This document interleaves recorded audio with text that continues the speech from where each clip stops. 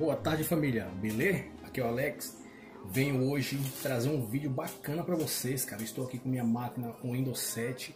Estou aqui no meu canal, AlexDF, vários vídeos vlog, cara. Clica aí, se inscreva em meu canal, beleza?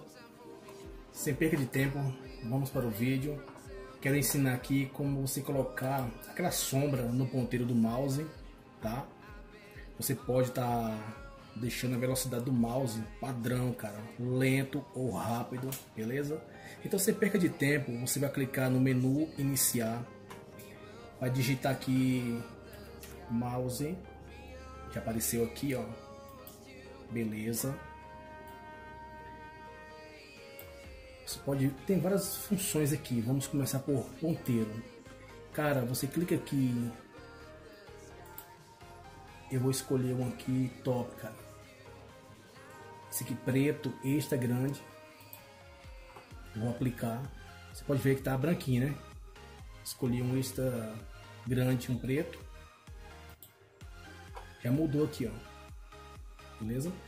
Ativar embaixo aqui, ó. Ativar a sombra do ponteiro.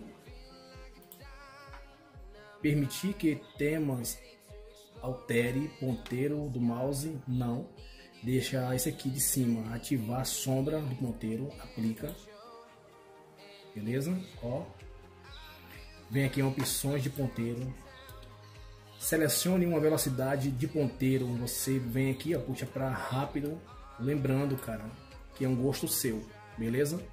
Se você colocar aqui em lenta, bicho, fica ruim, velho. Então eu particularmente gosto desse aqui, ó, rápida, aplica espera para isso, cara.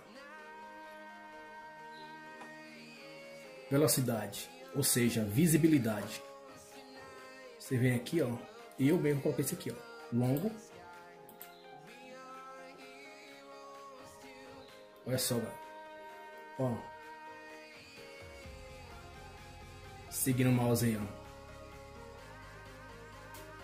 Então, cara, esse é o vídeo, beleza? Se na sua máquina estiver aqui, ó, esses quadradinhos tiver desmarcado, pode marcar, beleza? Aprimorar a precisão de ponteiro, pode marcar, beleza? Esse é o vídeo. Não tem erro, cara. Não tem erro. Deixa seu like, comenta, é nós que tá.